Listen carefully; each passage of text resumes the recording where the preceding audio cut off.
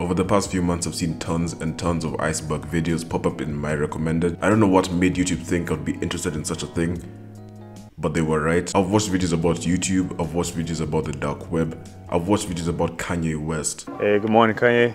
Shut the fuck up. And so I decided, you know what, I'm stealing this video idea. So I went to the iceberg chart subreddit to find a chart that wasn't already covered, and that's where I found the XXX Tentacion iceberg. Now this was made by a guy called Half Control. I'll put his YouTube channel in the description if I remember. He said he's also gonna make a video about this and he's basically the guy who constructed this whole chart. So for those who aren't too familiar with icebergs, it's a chart that shows the most known stuff at the tip of the iceberg and the facts and other stuff get more and more obscure as you go down into the abyss. This particular chart has been split into four layers, so we'll start from the top and make our way down.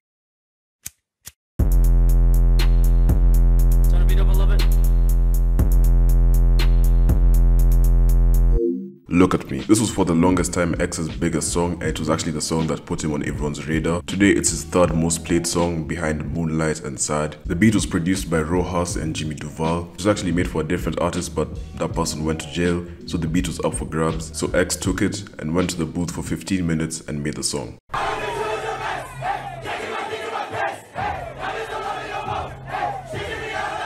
The song was released in 2015 on SoundCloud, but it didn't end up getting traffic until about 2017. It currently has 93 million views on Elevator, 193 million plays on SoundCloud, and 493 million views on X's YouTube channel. Ski Mask. Ski Mask or Stokeley Clevon Goulbourne Jesus Christ, was arrested for drug charges and that's how him and X met. They were friends in and out of juvie and they actually ended up transferring to the same high school. While they were friends they joked about rapping and they actually ended up in the same rap group twice. The first one was very rare and the second one was members only. Now obviously none of these groups lasted but throughout X and Ski Mask were close friends and they both ended up leaving and starting their own rap careers. Their most popular song together is Take a Step Back. It was on the Free X album in 2017 and it currently has over 100 million views on YouTube. And in June of this year Ski Mask released another album called Sin City the Mixtape. I'm not too sure about how people feel about it. I've seen some people say it's amazing, other people say it's terrible, so I don't know. Go listen to it and come to your own conclusions. Distorted audio. Now you don't have to be a crazy X fan to know that some of the audio quality on his songs is terrible.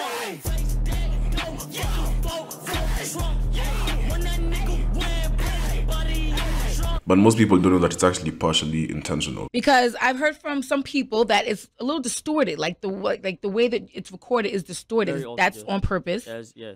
When X and Ski Mask started rapping in high school, one of their friends had a snowball microphone and a laptop which had Audacity. Now, I'm not a microphone expert, I don't do crazy research, I don't know about the best microphones. However, I can tell you for free, a snowball is probably one of the worst microphones out there, especially for someone who's trying to do music. But X and Ski Mask obviously weren't rich, so they had to use it to their advantage. It was like a snowball mic. It was like the cheapest mic you could get. It sit on like three prongs, Audacity, and like a laptop. That's how we got distorted music. We actually started making the distortion like to the best of our advantage. So we use distortion in our music. The Drake beef. Yeah. If you've known about X since around 2017, you probably know about his altercation with Drake. It first arose because of Drake stealing X's flow, and this was around the time when X was just coming up, and just around the time when Look At Me was blowing up, and Drake released a song called KMT on his album More Life. And if you listen to the two songs, they have a very similar flow. In fact, people have switched the beats, and the song still sounds decent. If that makes sense, I'll play a clip right now. Studio right in my yacht. Well, that shit straight to the booth. How long I been on the street? She said one fuck, bitch, I do. Okay. I give her this, yeah, man. Drake actually responded to this, uh, denying it, obviously, and he claims that he never even knew who X was and he never heard the song. So, I mean, we're just gonna have to take his word for it. Like the other day, you know, I dropped the song with Giggs, and I'm seeing all this sh- on my on my IG under like some random picture of people being like, ah, f- you took this kid's flow or whatever, right? I, I just like I'm just like, yo, it, it's crazy that people think that after all this time, after all I've been through, that I'm the type of person to go pre some some some song that's on SoundCloud. It doesn't have like two plays. It has mm. plays. You know, he has his cult following, and go and think that I'm gonna like take that and make mm. it my own. And on top of all of this, X was apparently hitting on Drake's mom And if you know anything about Drake, you know that he does love his mother. So people say that Drake actually killed X because of this, but for now nobody really knows if that's true or not. His violent past. So it's basically common knowledge to know that X wasn't the most level-headed person when it came to arguments. Bro, I've been fighting since I was a kid.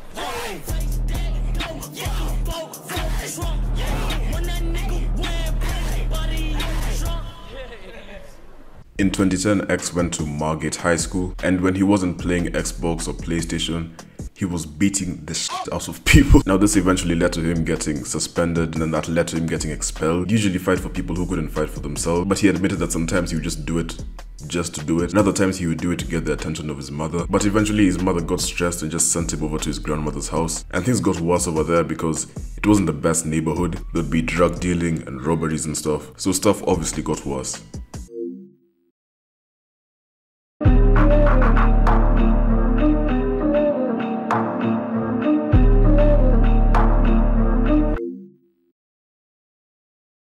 Migos beef. Yeah, let's take a modern day stroll. In November of 2017, X was jumped by all three of the Migos. This happened after a series of Instagram stories of X basically going after Offset. He said he was fine with Takeoff and Quavo, but he had a problem with Offset in particular. Quavo the best rapper in Migos. The rest of y'all niggas irrelevant. Hey, matter, matter of fact, no, take off, take, take off straight, take off straight. They, them niggas don't be talking shit. Offset be talking shit. I don't know how they. And a few months after these stories, he gets jumped. Now, the interesting part that people don't actually know is those weren't the Migos. In fact, X actually apologized to them because they were three completely different guys. Anime and gaming. Yeah, X watched anime and played video games. I don't know why this was put in the iceberg. There's nothing much to say about it. Uh, Rob Stone. Rob Stone is a 26 year old rapper born in San Diego. His beef with X started because of Ski Mask. In 2017, during a tour, Ski Mask and Rob Stone got into a little bit of an altercation, which annoyed Ski Mask, which therefore annoyed X. Then tweets were sent back and forth, and Ski Mask was rushed by like five people while he was performing live. And then a knife was pulled out. I don't know if that's true or not. But then a few months later, the exact same thing happened to X. Except this time it wasn't Rob Stone, it was some assailant. Nobody really knows who it is though. The Weeknd and Kurt Cobain. Yeah. I haven't heard X talk about his inspirations that much, but two people I know that he mentioned is The Weeknd and Kurt Cobain. If you don't know who The Weeknd is, you live under a rock. And if you don't know about Kurt Cobain, he was an American musician. He was the lead vocalist and guitarist in an American band called Nirvana. I feel like I mispronounced the name, but yeah. He actually died on April 8th, 1994, but people still talk about him to this day. He heavily inspired people like X and Kid Cudi. In fact, they've both gone as far as saying that Kurt Cobain saved their life. In a stream with DJ Akademiks, the guy who's probably a nonce, X said that The Weeknd and Kurt Cobain both saved his life, and he would literally cry if he got a feature from The Weeknd. There are only two artists that I know saved my life. That that made me the that like made me the mind I am. That's Kurt Cobain and The Weeknd, Why the Weeknd? and not the cur- not the current Weeknd. You have to go listen to his old shit. The Weeknd called you right now. You're doing. You, you- you're gonna do something. I'd cry, and I said, "Yeah." But for whatever reason, The Weeknd just doesn't respond to X. It's probably because of Drake, and now obviously that feature can't happen.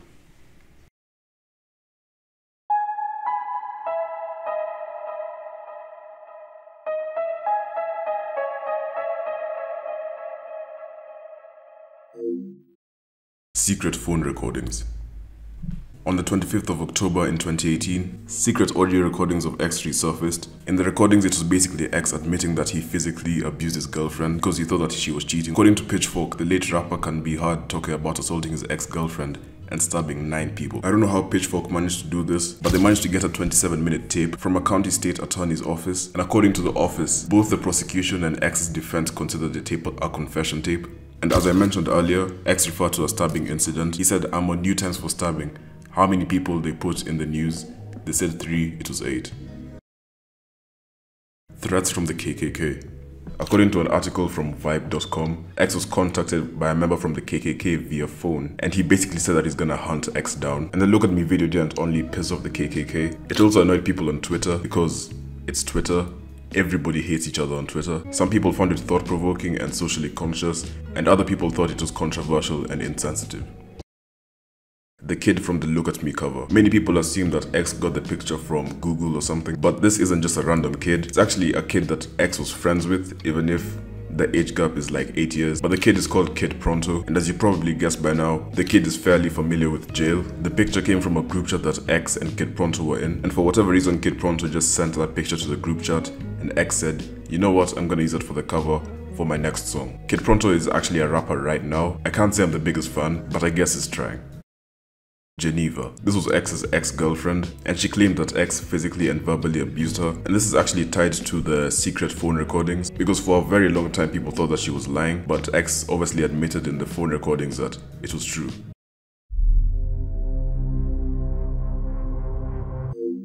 Heroin Father. A while back, X used to call himself Heroin Father and no one really knew why, but I actually found a tape recording of him basically explaining what it meant and according to X, it means a father of contradictive feeling. Okay, so why did you? I'm just a fa- I'm just the father of a very uh what's the what's the what's the word? I'm the father of a contradictive feeling. I don't know about you guys' understanding of this, but I have no idea what that even means. But X is known for being cryptic with the stuff, so I can't say I'm too surprised. I've seen a few other people try to decode what it meant. When X says stuff like this, I always feel like the true meaning of heroin father was him wanting a lot more attention from his father, similar to being addicted to heroin, a crave for it.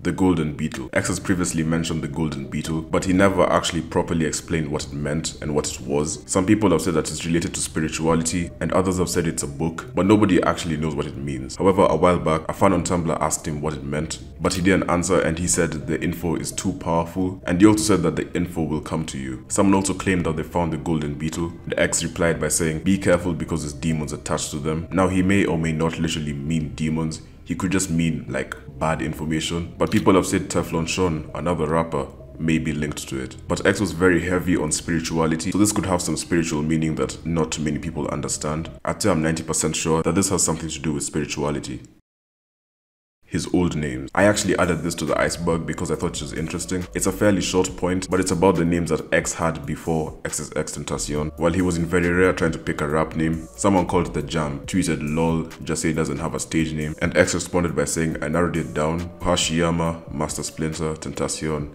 and Addition.